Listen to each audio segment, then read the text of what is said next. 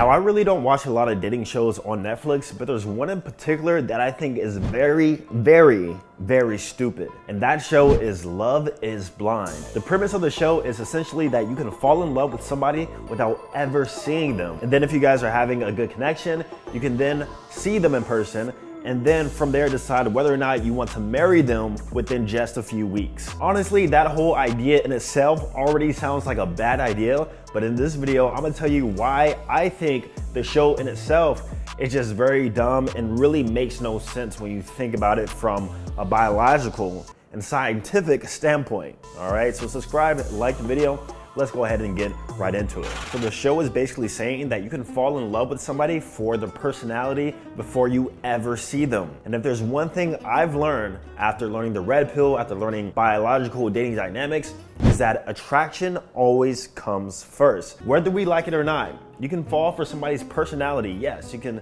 think they're the greatest person in the world, However, if you are not attracted to that person from a physical standpoint, then it will go nowhere from there or it will be very, very short lived. And I've seen this, I've asked girls in real life, hey, did you find your ex attractive?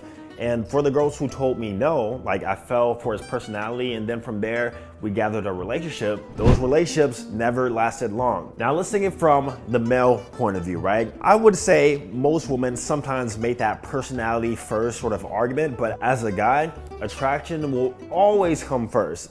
We are visual creatures, and if we don't see something we like, even though we have some sort of emotional connection there first, is definitely not gonna go anywhere. And I've actually seen representations of that on the Love is Blind show where the dude had a great connection and then he ended up meeting with said girl. And then from there he just couldn't do it because it reminded him of a family member a friend like something wasn't there that spark wasn't there. And that is the attraction phase right? The attraction will always come first.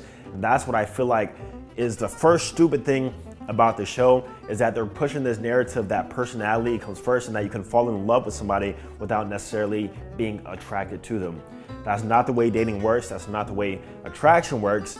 And unfortunately, there's a big show um, now on Netflix saying that it actually can be the opposite way around. Even from the woman's point of view, I would not want to be with a woman who didn't find me physically attractive but liked me and my personality, my voice, or whatever else it may be and decide to be in a relationship with me from there. That's just a horrible idea from the start, guys. Trust me, attraction always comes first. Now, I'll talk about how they actually decide to get married after meeting each other and like going on a little vacation or whatever. And through that, they only have a few weeks to decide. So the reason why that's obviously a bad idea is because there's no vetting process, man. Not only should you vet for a girl to be your girlfriend, but you should definitely vet for somebody to be your wife, to sign a government contract for, right? I remember I was watching the last season. It was this black couple, right?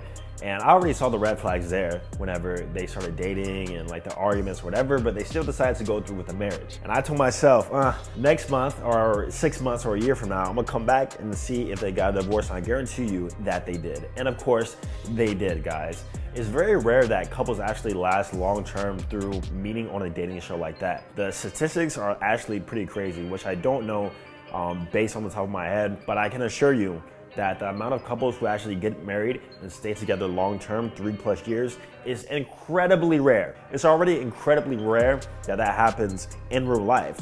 So you mean to tell me that if you meet somebody through a dating show where you can't see their face and then have a few weeks to decide if you're gonna marry them, it's gonna last? It's not going to, man. And that vetting process, at least for marriage, in my eyes at least, depending on what age you are, minimum, minimum two years, man minimum two years. And I don't think just a few weeks is a long enough time to establish whether or not somebody is wifey material. Like you really haven't seen or been with that person long enough to know if you want to sign a government contract to be with them long term. And another thing I realized in part of the show, and I'm blaming the guys right here, is that the dudes are super emotional.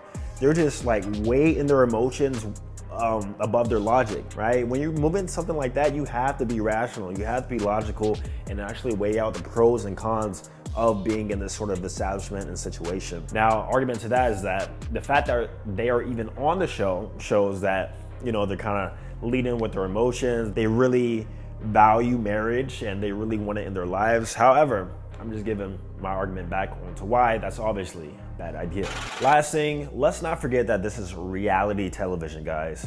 I'm probably gonna eliminate my chances of ever getting on any sort of reality dating TV show, but that's totally fine, right? I've had offers in my DMs every single week, and I still haven't done it. But it's reality TV, meaning that it is fabricated to some degree and edited so that you can have a perception of what they want the viewers to see and what will get ratings and what will increase watch time. You guys don't realize that. Reality TV is fake. A lot of it is fake. A lot of it is sometimes scripted or things are placed here and there so that you know a little bit of drama or arguments can start. They might even tell one of the uh, people on the show, "Hey, can you do this to kind of spice things up a bit?" Think about it. They had like a totally plain just cast who everybody always got along. There's no issues, no drama. You wouldn't have a TV show, guys. So remember that when you're watching Love Is Blind or any reality show for that matter, is that to some degree it is of course scripted, and I think because it is scripted to some degree,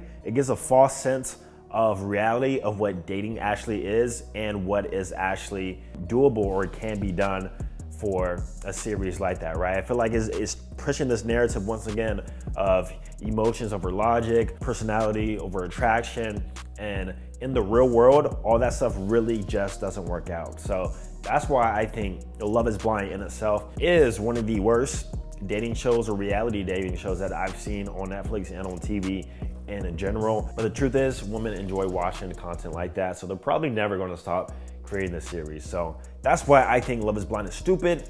Subscribe, like the video. Y'all let me know. Do you also think a dating series like this is pretty dumb? Let me know down below in the comments. See you guys in the next video.